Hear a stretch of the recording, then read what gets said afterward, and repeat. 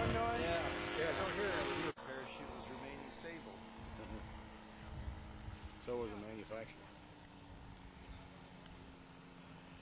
I'm going to try to land,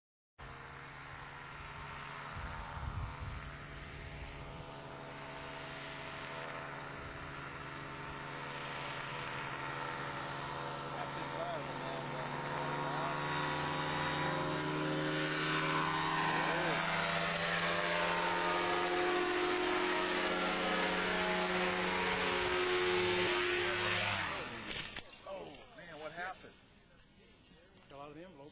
What happened? I don't know.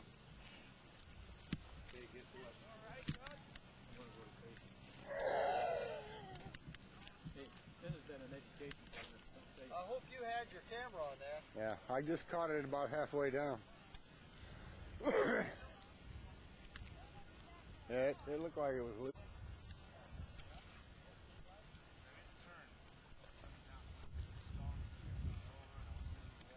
You all right?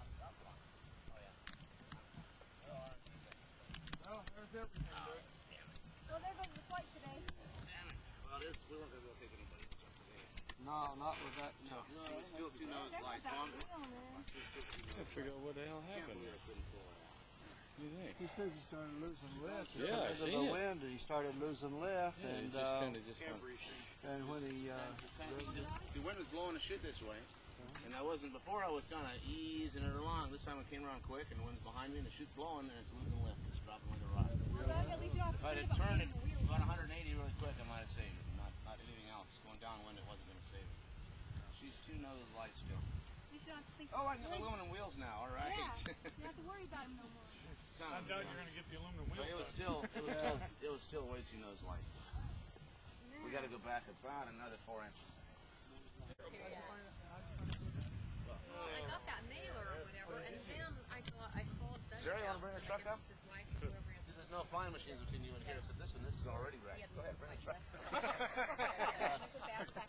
oh, so that's when you'll trust me when everything's broken. Turn the key over about three, four seconds. Yeah, half down. yeah, well, no, it wasn't.